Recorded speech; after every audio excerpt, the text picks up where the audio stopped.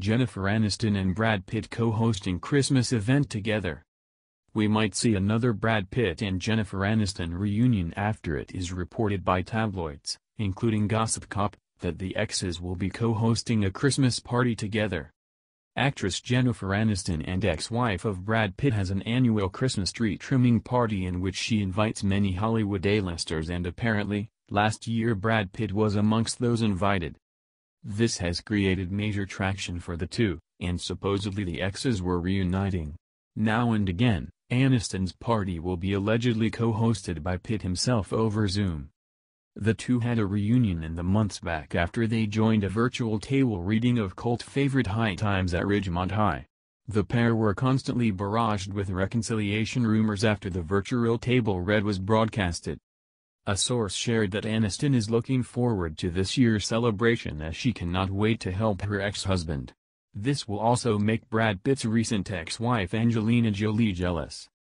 Jen has no problem flaunting their friendship especially when it angers the woman who stole her husband.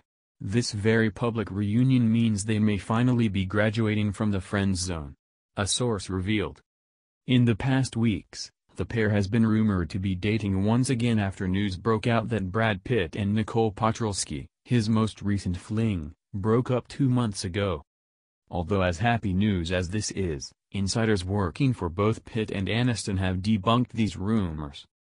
The German model Nicole Poturalski and Pitt only dated for a few months and never confirmed their involvement with one another.